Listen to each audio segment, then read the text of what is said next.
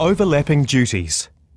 People come and go all day long in a factory, like electricians fixing machines or deliveries being dropped off.